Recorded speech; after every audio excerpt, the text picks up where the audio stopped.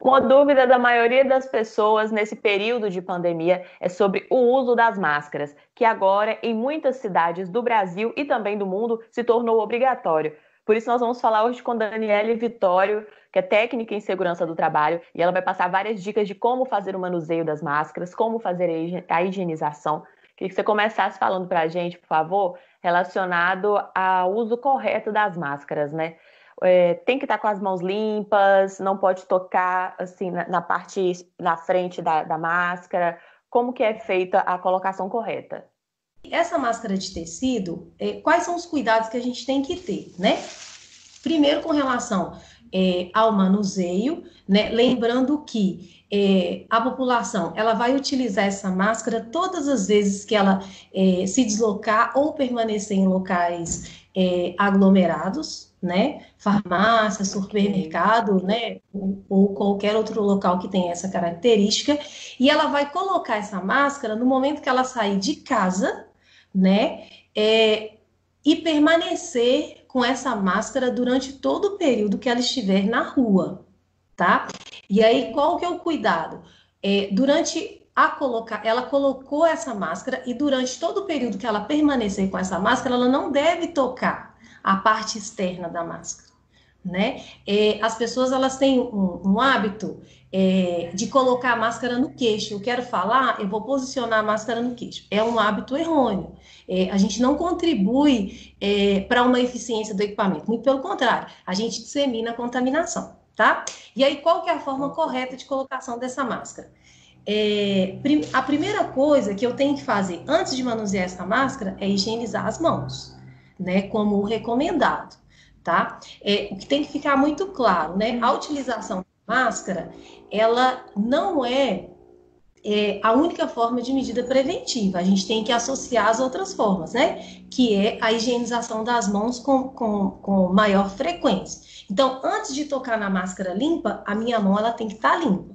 E aí eu vou higienizar minhas mãos com água e sabão, né? Ou com álcool 70.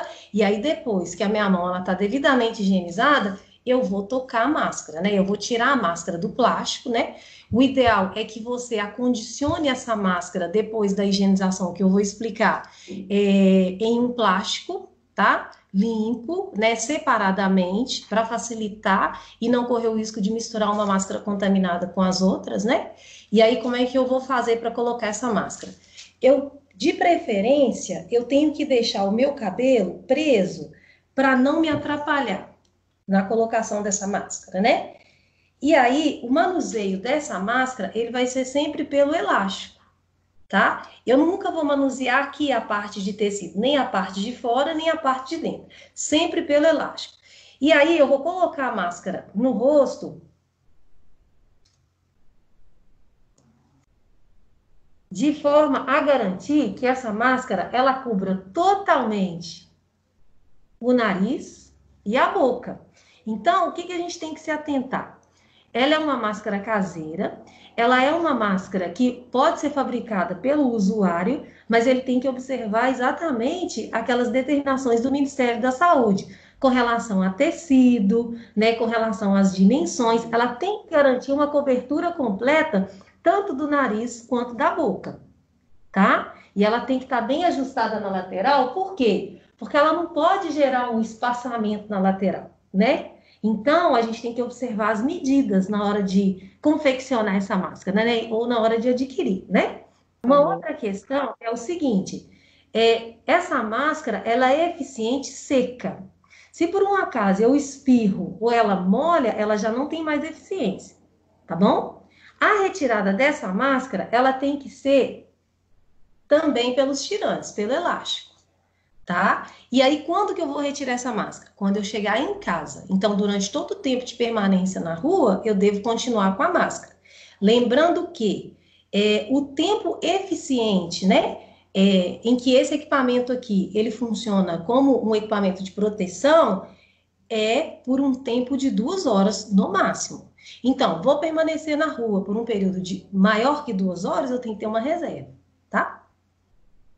Tá ótimo. Daniele, e para quem tem a máscara caseira, né, qual que é a, melhor forma de fazer a higienização? Então, a higienização recomendada pelo Ministério da Saúde é o quê? Cheguei da rua, né, em casa, higienizei as mãos para retirada da máscara, tá? É, eu vou imergir essa máscara numa solução de 10 ml de água sanitária, é, observar a concentração da água sanitária que tem que ser de 2 a 2,5% em 500 ml de água. Então, essa é a proporção: 10 ml de água sanitária para 500 ml de água. E aí, você vai deixar ali é, essa máscara né, totalmente imergida ali na solução é, por um período de 30 minutos. E aí, depois desses 30 minutos, passa o sabão, enxágua bem enxaguado, né? É, e aí coloca para secar. Lembrando que, enquanto ela não estiver seca, ela não pode ser utilizada, tá? Depois que ela secar, vem com ferro quente e passa na máscara, né? E aí a gente tem que se atentar até o material de confecção dessa máscara, né? Porque eu tenho que deixar de molho e eu tenho que passar o ferro quente. E aí passa o ferro quente, armazena num plástico limpo, né? E aí ela está pronta para ser utilizada novamente. Ah, bacana. Aí a pessoa já pode reutilizar ela sem problema algum. Sim, lembrando que ela não deve ser compartilhada mesmo depois de higienizada. Né? Cada então, usuário. A, cada um de casa tem que ter a sua máscara ali caseira e sem compartilhar com o outro familiar. Isso, mesmo ela estando higienizada, né? Uhum, tá ótimo, então fica o recado aí para quem está nos assistindo. Daniele, muito obrigada pelas dicas, a gente agradece.